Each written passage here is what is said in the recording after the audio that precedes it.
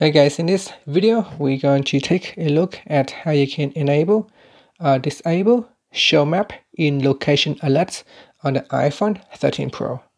First, let's go back to the home screen by swiping up at the bottom of the screen. On the home screen, tap on settings.